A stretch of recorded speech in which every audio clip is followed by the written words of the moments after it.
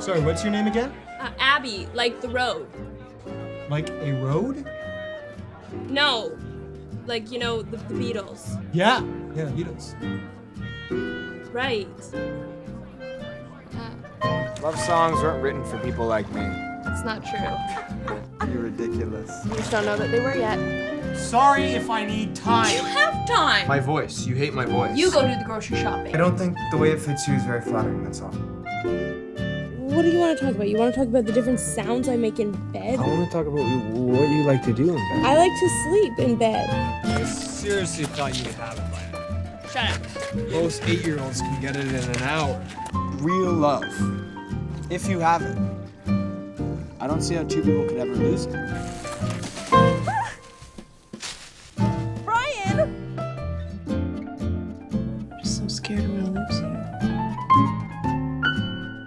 not going anywhere.